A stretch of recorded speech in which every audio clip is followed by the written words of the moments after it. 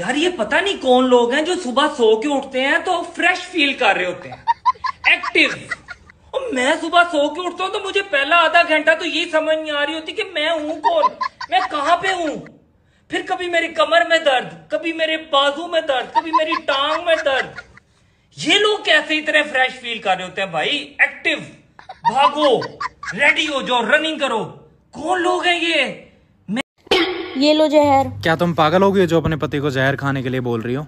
अरे कुछ नहीं वो मुझे ना दो साड़ी चाहिए थी उसके लिए पैसे चाहिए थे। अरे यहाँ पे जहर खाने के लिए तो आजकल की सास को प्यार से बात करने वाली बहू चाहिए लेकिन प्यार से बात करने वाली सास भी तो होनी चाहिए। जब देखो तब जहर उगलते रहती है। अरे बहू भी एक इंसान है भाई रोबोट मशीन थोड़ी है। कि कुछ भी कहिएगा तो सुनते रहेगी। मम्मी आज खाना कैसे ना बनाए? मैं बहुत तेज भूख लग रही है। बेटा मैं गिर गई और मेरे लग गई। मम्मी तू कहाँ गिर गई और कैसे लग गई तेरे?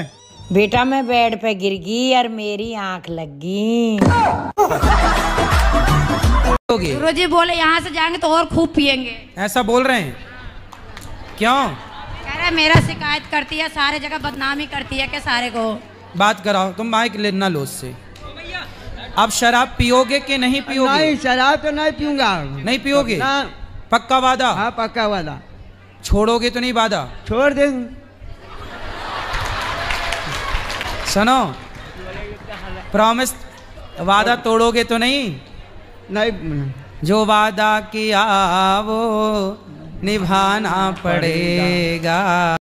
मैं भूखी रह सकती हूँ प्यासी भी रह सकती हूँ लेकिन चुप।